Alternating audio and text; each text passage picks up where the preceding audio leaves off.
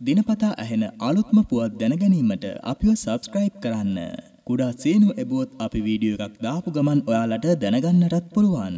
ශ්‍රී Lankan ගුවන් සේවයේ ගුවන් යානා සමූහයට තවත් නවතම ගුවන් යානයක් ඊයේ දින එකතු වුණා. කටුනායක ගුවන්තොටුපළේ ශ්‍රී ලංකන් ගුවන් යානා අංගණයේ පැවති සර්ව ආගමික වතාවත් වලින් පසුව එය මෙහෙයුම් සඳහා එක් කරගැනුණා. මෙය ජර්මනිය නිෂ්පාදනය කරන ලද ඒ ඉරක් 321 වර්ගයේ ගුවන් යානයක්. මෙම යානය ඉන්ධන පිරිමැසීම සාසුලන් ප්‍රතිරෝධය අවම කරමින් ක්‍රියාසර කර හැකි ආකාරයට නවතම නිර්මාණයක් ලෙස සකස් කර තිබෙනවා. ගුවන් යානයේ දිග අඩි එකසිය හතලිස් හයක් වන අතර පියාපත් අතර දිග අඩි එකසිය දාහතයි දශම පහන් උස අඩි තිස් හතයි දශම හතක්ද වනවා.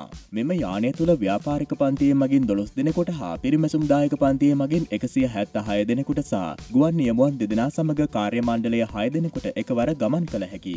මෙම ගුවන්යානය ශ්‍රී ලංකන් ගුවන් නියමුවන් සහ ඉංජිනේරුවන් පිරිසක් සමඟ ජර්මනී අදාළ කර්මාන්ත ශාලාවට ගොස් පරීක්ෂා කිරීමෙන් අනතුරුව මේ මස විසි නමවනදා දින අලුයම කටුනායක ගුවන්තොටුපොළ වෙත රැගෙන ආවා දැනට ශ්‍රී ලංකන් ගුවන් සේවේ සතු මෙම ගුවන්යානයද සමඟ එයා බස් වර්ගේ ගුවන්යානා විසි හයක්ද පවතිනවා.